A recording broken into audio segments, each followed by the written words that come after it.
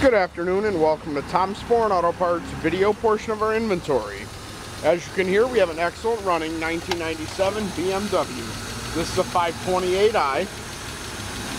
This vehicle is a 2.8 liter California emissions engine. The vehicle is also equipped with an automatic transmission, cruise control, anti-lock brakes, and is also rear-wheel drive. The production date of this vehicle is March of 1997 and the vehicle does currently have 225,000 miles.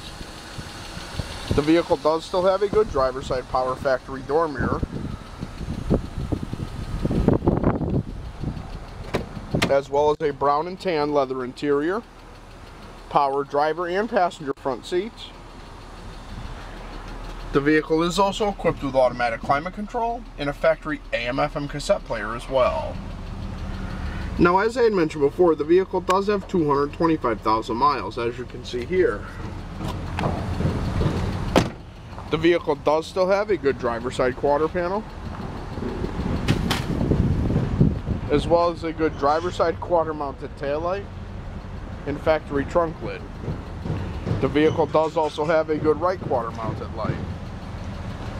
As well as a good passenger side quarter mounted fuel filler door and the vehicle does also have a good right power door mirror as well.